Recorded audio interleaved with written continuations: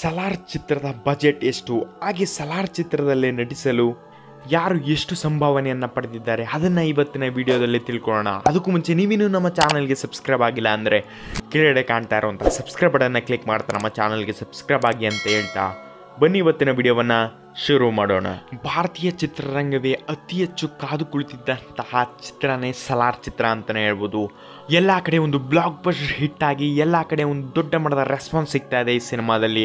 ಅದೇ ರೀತಿ ಈ ಸಿನಿಮಾದ ಬಜೆಟ್ ಬಗ್ಗೆ ಬಂತು ಅಂದರೆ ಬರೋಬ್ಬರಿ ನಾನೂರು ಕೋಟಿ ವೆಚ್ಚದಲ್ಲೇ ನಿರ್ಮಾಣ ಆಗಿದೆ ಈ ಸಿನಿಮಾ. ಅದೇ ರೀತಿ ಈ ಸಿನಿಮಾದಲ್ಲಿ ಮೊದಲಿಗೆ ಪ್ರಶಾಂತ್ ನೀಲ್, ಏನೋ ಗೊತ್ತಿಲ್ಲ ಗುರು, ಇವ್ರ ಹೆಸರು ಕೇಳಿದ ತಕ್ಷಣ ಇವರ ಚಿತ್ರಗೆ ತುಂಬಾ ಡಿಮ್ಯಾಂಡ್ ಹುಟ್ಟಾಕ್ತಾರೆ ಅಂತಲೇ ಹೇಳ್ಬೋದು. ಆ ರೀತಿ ಇವರ ಸಿನಿಮಾ ತುಂಬಾ ಬೇರೆದೇ ರೀತಿಯಲ್ಲಿ ಡೈರೆಕ್ಷನ್ ಇರುತ್ತೆ ಅಂತಲೇ ಹೇಳ್ಬೋದು. ಹಾಗೆ ಸಲಾರ್ಸ್ ಚಿತ್ರಕ್ಕೆ ಪ್ರಶಾಂತ್ ನೀಲ್ ಅವರು ಬರೋಬ್ಬರಿ ಐವತ್ತು ಕೋಟಿ ಸಂಭಾವನೆಯನ್ನು ಪಡೆದಿದ್ದಾರೆ ಅಂತ ಅಪ್ಡೇಟ್ಸ್ಗಳು ಸಿಗ್ತಾ ಇದೆ. ಇನ್ನು ಈ ಲಿಸ್ಟಲ್ಲಿ ಎರಡನೇದಾಗಿ ಹೀರೋ ಆಗಿರುವಂತಹ ಪ್ರಭಾಸ್ ಅವರು. ಬಾಹುಬಲಿ ಆದ ನಂತರ ನಮ್ಮ ಪ್ರಭಾಸ್ ಅವರು ನಟಿಸಿದಂತಹ ಮೂರು ಚಿತ್ರಗಳು ಸಹ ತುಂಬಾ ಫ್ಲಾಪ್ ಆಗಿತ್ತು. ಅದೇ ರೀತಿ ಇವರಿಗೆ ದೊಡ್ಡ ಮಟ್ಟದ ಕಂಬ್ಯಾಕನ್ನು ಕೊಟ್ಟಿರುವಂತಹ ಸಿನಿಮಾನೇ ಸಲಾರ್ ಸಿನಿಮಾ ಅಂತಲೇ ಹೇಳ್ಬೋದು. ಹಾಗೆ ಸಲಾರ್ ಸಿನಿಮಾಗೆ ಪ್ರಭಾಸ್ ಅವರು ಬರೋಬ್ಬರಿ ನೂರು ಕೋಟಿ ಸಂಭಾವನೆಯನ್ನು ಪಡೆದು ಪ್ರಾಫಿಟ್ ಶೇರನ್ನು ಕೂಡ ತಗೊಳ್ತಾರೆ ಅಂತ ಅಪ್ಡೇಟ್ಸ್ಗಳು ಸಿಕ್ಕಿದೆ. ಇನ್ನು ಈ ಲಿಸ್ಟಲ್ಲಿ ಮೂರನೇದಾಗಿ ಹೀರೋಯಿನ್ ಆಗಿರುವಂತಹ ಶ್ರುತಿ ಆಶನ್ ಅವರು.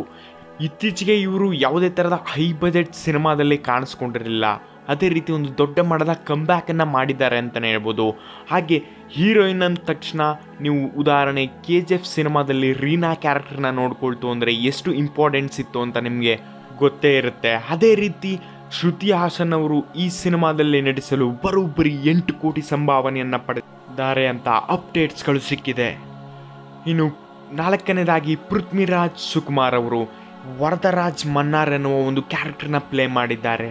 ಹಾಗೆ ಹೀರೋನ ಪ್ರಾಣ ಸ್ನೇಹಿತರಾಗಿರುವಂತಹ ಒಂದು ದೊಡ್ಡ ಮಟ್ಟದ ಕ್ಯಾರೆಕ್ಟರ್ ಅಂತಲೇ ಹೇಳ್ಬೋದು. ಏಕೆಂದರೆ ತುಂಬಾ ಸ್ಕ್ರೀನ್ ಸ್ಪೇಸ್ ನಮ್ಮ ಪೃಥ್ವಿರಾಜ್ ಸುಕುಮಾರ್ ಅವರಿಗೆ ಸಿಕ್ಕಿದೆ ಅಂತಲೇ ಹೇಳ್ಬೋದು. ಹಾಗೆ ಇವರ ಪಾತ್ರನೂ ಸಹ ತುಂಬಾ ತೂಕವಿರುವಂತಹ ಪಾತ್ರ. ಅದೇ ರೀತಿ ಈ ವರದರಾಜ್ ಮನ್ನಾರ್ ಎನ್ನುವ ಪಾತ್ರಕ್ಕೆ ಬರೋಬ್ಬರಿ ನಾಲ್ಕು ಕೋಟಿ ಸಂಭಾವನೆಯನ್ನ ಪಡೆದಿದ್ದಾರೆ ಅಂತ ಅಪ್ಡೇಟ್ಸ್ಗಳು ಸಿಕ್ಕಿದೆ. ಇನ್ನು ಐದನೇದಾಗಿ ಜಗಪತಿ ಬಾಬು ಅವರು. ಇವ್ರಿಗಂತೂ ಎಲ್ಲ ಭಾಷೆಯಿಂದಲೂ ಸಹ ತುಂಬಾ ಕ್ರೇಜ್ ಇದೆ ಗುರು. ಆಲ್ ಇಂಡಿಯಾ ಎಲ್ಲ ಭಾಷೆಗಳಲ್ಲೂ ಸಹ ದೊಡ್ಡ ದೊಡ್ಡ ಪಾತ್ರಗಳನ್ನು ಮಾಡ್ತಾ ಇದ್ದಾರೆ.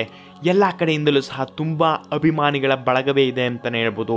ಅದೇ ರೀತಿ ಇವರು ಪೃಥ್ವಿರಾಜ್ ಸುಕುಮಾರ್ ಅವರ ತಂದೆ ಕ್ಯಾರೆಕ್ಟರ್ನ ಪ್ಲೇ ಮಾಡಿದ್ದಾರೆ. ಈ ಕ್ಯಾರೆಕ್ಟರ್ನ ಪ್ಲೇ ಮಾಡಲು ಬರೋಬ್ಬರಿ ಮೂರು ಕೋಟಿ ಸಂಭಾವನೆಯನ್ನು ಪಡೆದಿದ್ದಾರೆ ಎಂದು ಅಪ್ಡೇಟ್ಸ್ಗಳು ಸಿಕ್ಕಿದೆ.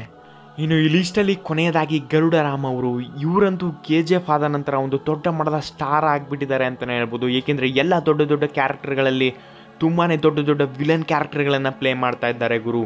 ಅದೇ ರೀತಿ ಇವರು ಸಲಾರ್ ಚಿತ್ರದಲ್ಲಿ ನಡೆಸಲು ಬರೋಬ್ಬರಿ ಅರವತ್ತು ಲಕ್ಷಗಳನ್ನು ಪಡೆದಿದ್ದಾರೆ ಅಂತ ಅಪ್ಡೇಟ್ಸ್ಗಳು ಸಿಕ್ಕಿದೆ.